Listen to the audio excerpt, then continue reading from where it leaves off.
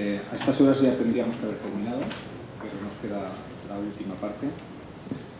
Retraso no lo llevamos nosotros, ¿eh? lo, vamos, lo hemos heredado.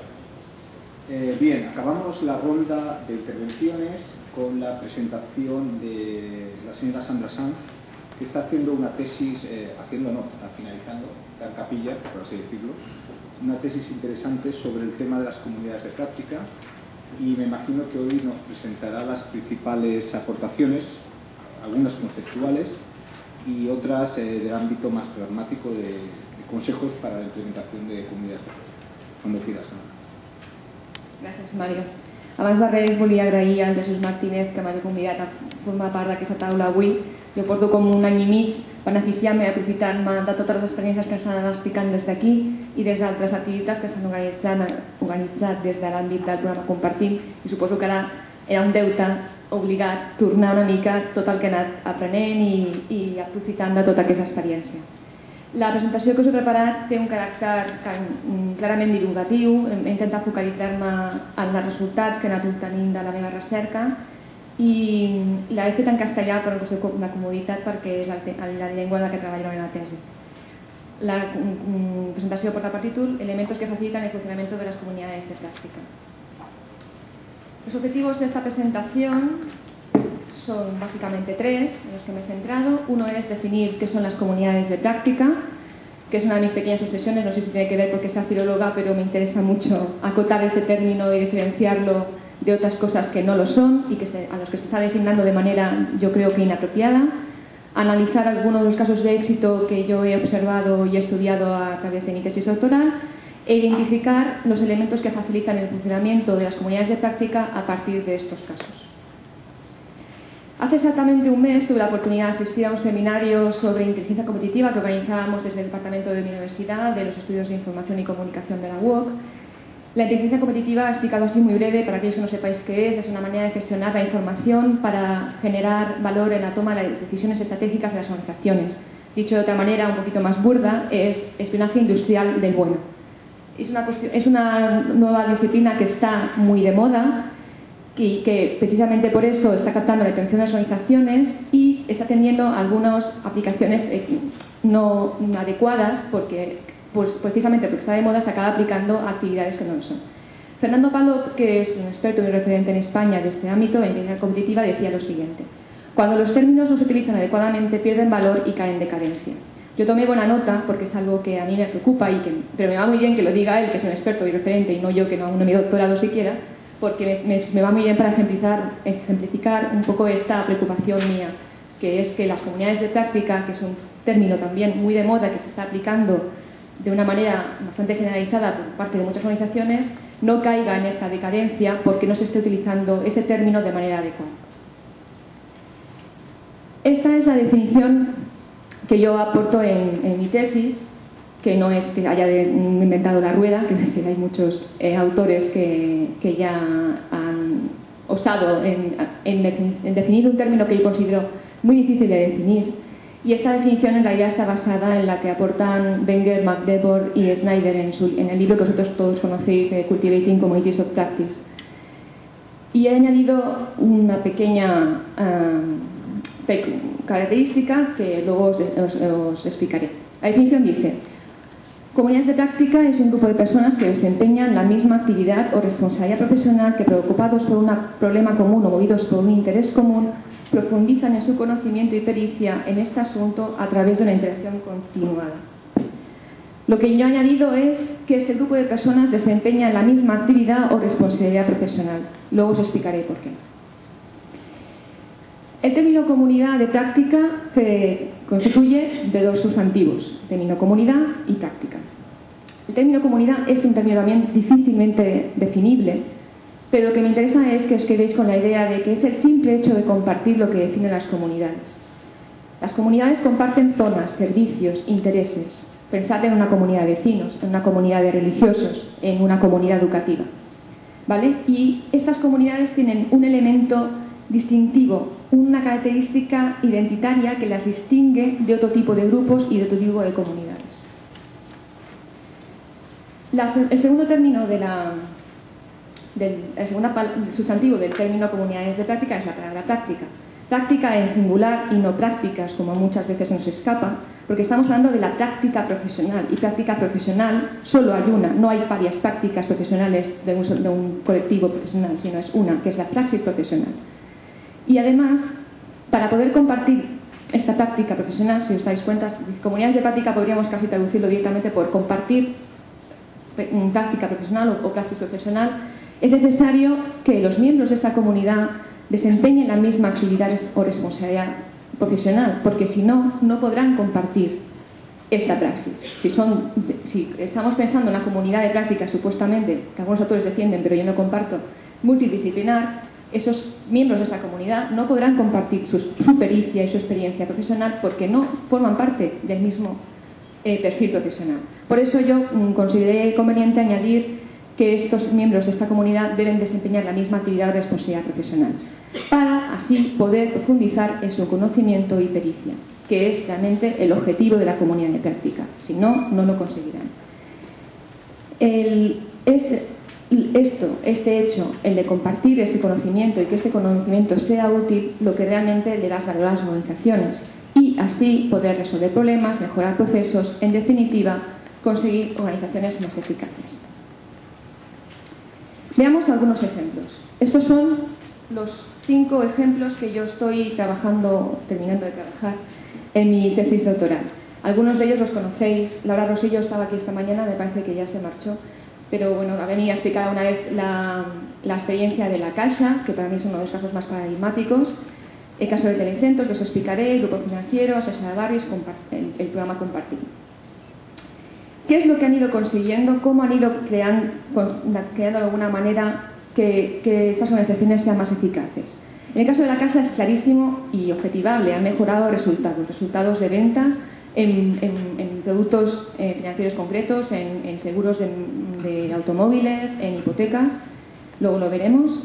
En el caso de telecentros, que es un caso bastante interesante, han conseguido crear una comunidad de ayuda, que en realidad es una protocomunidad porque está en una fase muy incipiente, pero han conseguido ayudarse y mm, eh, mejorar su praxis diaria. El grupo financiero, del cual no me está permitido desvelar el nombre, eh, tenía las necesidades claras de estandarización de procesos y lo han conseguido. No me puedo declarar porque ustedes de confidencialidad, obviamente. La Salsa de Barris, que es una iniciativa que seguramente también muchos conocéis, que pertenece al Departamento de Política Territorial y Obras Públicas, también es una, una ah, iniciativa muy interesante que tienen que afrontar un nuevo escenario que luego os explicaré y están consiguiendo, todavía están en una fase también incipiente, poder afrontar este nuevo escenario con bastante solvencia. Y por último, el programa Compartir, donde obviamente se han mejorado muchos procesos y hay casos claramente de comunidades de práctica que están funcionando de manera muy positiva. ¿Qué es lo que tienen en común todos estos casos de éxito? Para mí hay un elemento clarísimo que garantiza entre partida el funcionamiento de estas comunidades, que es la necesidad. Si no hay necesidad clara para que estas personas se reúnan presencial o virtualmente y compartan ese conocimiento, la garantía de éxito de esas comunidades es prácticamente nula. Además, esta necesidad no tiene por qué solamente ser necesidad de mejorar un proceso o mejorar una, o solucionar un problema, sino también en muchos casos a esa necesidad se suma otro tipo de necesidad que es la necesidad de sentimiento de pertinencia. Algunos casos, como veremos, tienen un problema añadido de extensión geográfica y el, el hecho de poder sentirse más próximo al compañero es un, es un elemento que fomenta la participación y, el, y, el, y, el, y, la facilidad de compartir conocimiento. Además, esta necesidad va muchas veces de la mano de la espontaneidad. En muchos casos, antes de que la organización se percatara de que eso estaba ocurriendo de, de una manera espontánea, en la máquina del café, en, en la cafetería, de, en reuniones eh, más o menos alternativas, se estaba produciendo esto, porque es que la necesidad era tan, tan eh, clara que, que, les arrojaba de alguna manera a esto, a, ya compartirla. Y además, esto también es importante porque me interesa también recordar que Wenger, en su primer libro sobre comunidades de práctica, ya decía lo siguiente, el aprendizaje no se puede diseñar, solo se puede facilitar o frustrar. crear una comunidad de práctica de la nada, desde mi punto de vista, es perder el tiempo. Si no hay una necesidad, si no hay este, además este factor que va bastante de la mano de, espontaneidad, eh, lo más probable es que no, no funcione. Pero está claro que con la necesidad no basta. Veremos en algunos casos que eso, pese a lo importante y lo palpable de esa necesidad, no ha sido suficiente. Hacen falta otros ingredientes, como es el, la necesidad de un moderador, después lo veremos un poquito más, una cultura organizacional que arrope esas iniciativas, una plataforma virtual adecuada y sobre todo la alineación de los intereses entre los miembros de la comunidad y la organización. Vamos caso por caso. El caso de la casa. Para mí es el caso más paradigmático y el que reúne más de los, la mayoría, mayor parte de los elementos que yo propongo como elementos que facilitan el funcionamiento de las comunidades de práctica. En la casa parten de una necesidad clara. Deben mejorar resultados. Cada, campaña de un producto determinado tienen que mejorar resultados de ventas. Lo que decía antes, por ejemplo, el caso de, seguros automóvil. Unos seguros que además son igual no, no, no son eh, accesibles económicamente a todo el mundo y comparten eh, argumentarios de venta. Han creado argumentarios que todos los empleados están utilizando y están resolviendo realmente las cosas y por eso realmente parten de una necesidad clara. Hay una alineación también muy clara de intereses entre la organización y las comunidades, una cultura organizativa que fomenta clarísimamente esto. Pensad que la plataforma de Virtabla tiene ya 10 años de historia en la Caixa, que la mayoría de los empleados que están formando parte de estas comunidades se han formado a través de esta plataforma virtual, que tienen la predisposición natural a aprender colaborativamente y de ahí a, compartir su experiencia profesional hay un pasito muy pequeño y les resulta realmente muy fácil. Forma, parte prácticamente del ADN del empleado de la casa. Además cuentan con una figura de moderador en cada una de las comunidades, que curiosamente en este caso no es eh, lo que yo defiendo y Wenger también, que sea un moderador que surge de manera natural de entre los miembros de la comunidad, sino que son los jefes de zona. Las, comunidades de la Caixa están estructuradas en, base a la organización de las, oficinas de la casa que están estructuradas por zonas geográficas y cada zona geográfica tiene un responsable, un director de zona. Pues es el, este director de zona el que eh, desarrolla el papel de moderador y pese a lo que yo podía haber pensado en un primer momento que podían haber coartado la, comunicación, la participación de, los, de, los, empleados, no es en absoluto así, porque tiene un talante muy accesible, muy cómodo, y los miembros de la comunidad participan muy bien y además en algunos casos es clave el, papel de, este moderador, a pesar de que sea director de zona. Y luego también tiene un tamaño muy apropiado. Una de las cosas que también defiendo en mi tesis es que el, número óptimo para el funcionamiento de la comunidad de práctica debería oscilar entre 50 y 80 miembros y en el caso de la Alcaixa se cumple en prácticamente todos los casos. Además, si esto no, no os parece suficiente, en algunos casos se añade esa necesidad de resolver y mejorar procesos a una necesidad también de pertenencia de, de grupo, porque hay en algunos casos donde también la dispersión geográfica es un elemento a tener en cuenta. En el caso concreto de una comunidad de área de la, zona de sierra de, Cádiz, que bueno, pues esos son pueblos más o menos aislados, de difícil acceso, con carreteras un poco complicadas, y esta comunidad en concreto, añadiéndole la necesidad de, resolver y mejorar procesos, es de las que más éxito tienen porque es que además se le suma esta necesidad de sentimiento de pertenencia, cuando tiene una participación altísima y es la que está además desarrollando productos más interesantes y lo que más están utilizando por el resto de los empleados. Y además, entroncando un poco con lo que hablas hablaba de cultura organizativa, eh, la idea de, de aprender de los pares es algo que se está instalando muy notablemente en los empleados de la casa. Los empleados de la casa valoran cada vez más aprender de sus homólogos, de los pares, que no de un manual. Valoran mucho más que aquello que el compañero ha puesto en práctica ha funcionado que no lo que diga un manual. Caso siguiente, telecentros.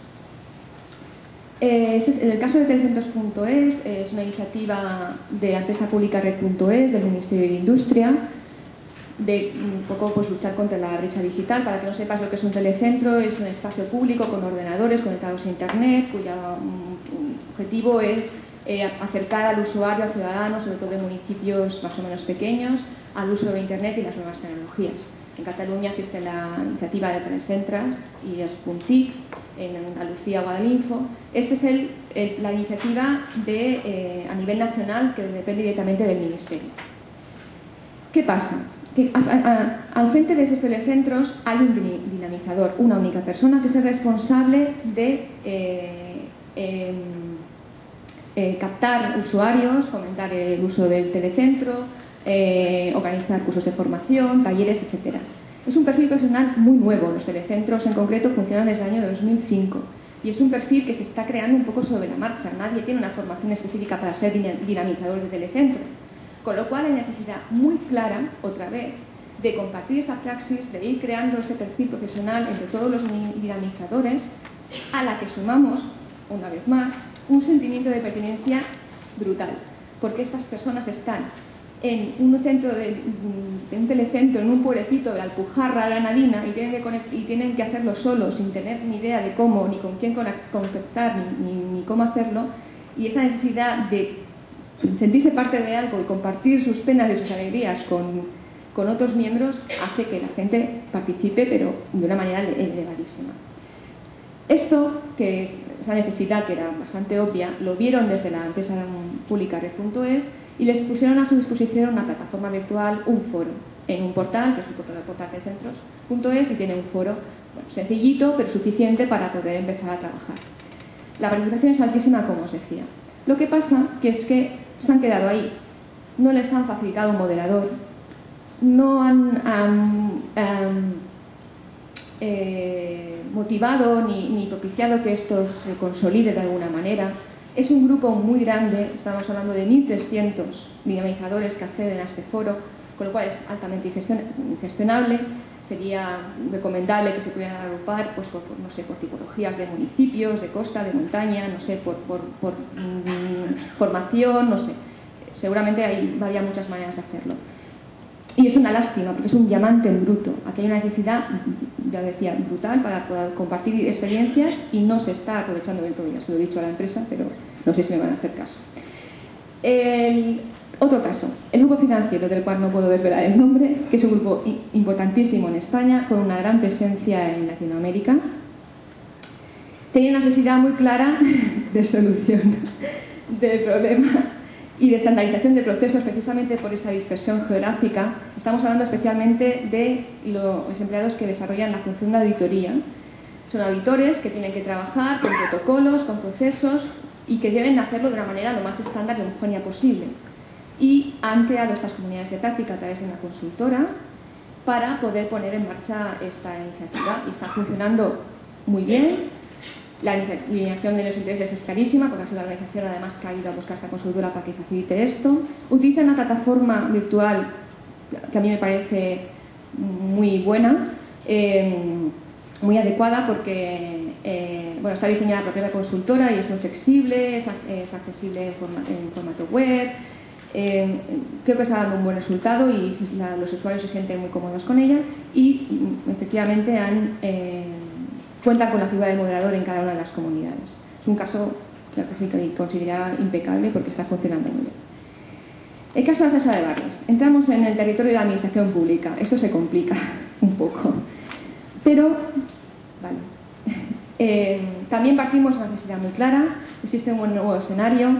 Estamos hablando de la ley de Barris, una ley que fue la primera ley aprobada del presidente Maragall, que tiene la finalidad de mejorar la vida, en términos genéricos, de, los ciudadanos en algunos barrios más o menos conflictivos, con riesgo de, fractura social, y la idea es eh, enfocar esas mejoras desde una perspectiva lo más transversal posible.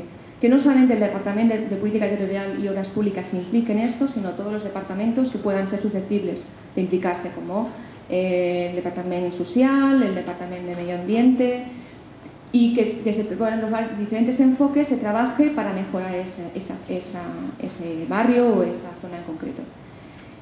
Es un nuevo escenario porque se obliga a trabajar de manera transversal, que antes no había sucedido, de manera multidisciplinar y además la Generalitat está delegando ese trabajo en los ayuntamientos y se está manteniendo en un segundo plano, lo cual es absolutamente un nuevo escenario y hay una necesidad clara de aprender cómo trabajar de esta manera.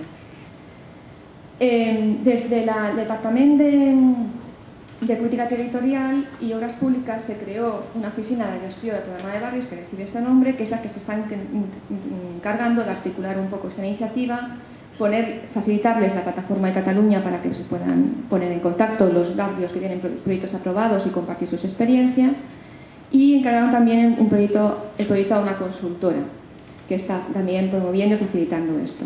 La verdad es que en, la realidad en la plataforma hay muy actividad, y, pero, pero bueno, está empezando a despegar y la gente al final opta por, reunirse presencialmente. Contactan con la oficina, preguntan qué otros municipios tienen proyectos similares al suyo y se reúnen presencialmente e intercambian esta información.